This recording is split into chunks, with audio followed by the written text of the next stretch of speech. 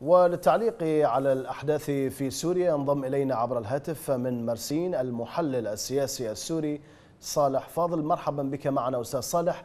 المناطق التي تقصف مشمولة باتفاق خفض التصعيد مع ذلك طبعا تشهد هجوما شديدا من قبل قوات النظام.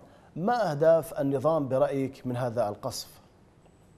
حقيقة النظام لم يتوقف عن القصف للحظة واحدة والروس والإيرانيين حتى نقول ما أهدافهم من القصف. القصف أصلا استمر وأهدافهم تركيع الشعب السوري وإنهاء ثورته ثورته المباركة وهذا سيكون أبعد من خيال الأسد وروسيا والإيرانيين وغيرهم. الهدف الأساسي هو إجهاض الثورة السورية وأيضا يصورون أنه انتقام لسوتشي انتقام بسبب فشل الروس في عقد مؤتمر سوتشي بنجاح. كل هذه الأمور هي ترهات. السبب الحقيقي لكل هذه المجازر هو تركيع الشعب السوري وإعادة عبوديته لآل الأسد ومخلوف وتلك الزمرة الطائفية الوحشية في سوريا.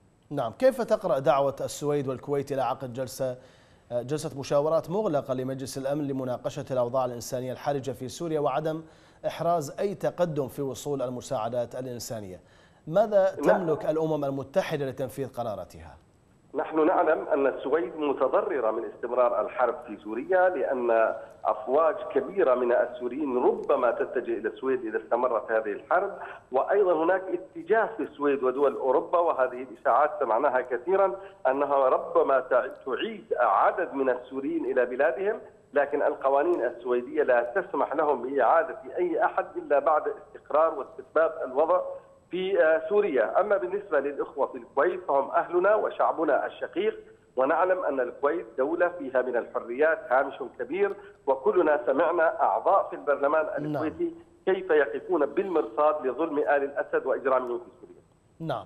الحديث عن قمة تركيا روسية في إسطنبول ماذا يمكن أن تقدم هذه القمة للأزمة السورية؟ الواقع يعني ال ال ال الإخوة الأتراك والأشقاء معروفون هم الداعمون الأول للثورة السورية من بدايتها وإلى الآن وستستمر إلى تقويض نظام بشار الأسد وهذا ما صرح به أكثر من مرة الرئيس رجب طيب أردوغان. هذه مسألة أما مسألة التفاهمات مع روسيا الحقيقة لابد من وضع خطط لكي لا يصطدم الروس والأتراك في هذه المنطقة وأظن في الفترة الأخيرة لاحظنا لعدة أيام كان هناك تشويش بالرادارات التركية على الطائرات الروسية وطيران النظام. هناك إشكالات معينة يريد الأتراك والروس أن يتفاهموا عليها وأيضا للسير في اتجاه الحل السياسي وفق ال وفق ال ثوابت الثورة السورية التي يمثلها الأتراك أما روسيا تريد أن تزيد من حصتها بالكعكة السورية وهذا ما لا يقبله الثوار في سوريا. والآن المفاوضات ما هي إلا وسيلة من هذه الوسائل وأظن أنها لن تنجح والحل في نعم. سوريا سيكون سياسي وعسكري المحلل السياسي السوري صالح فاضل كان معنا من مدينة مرسين التركية شكرا جزيلا لك.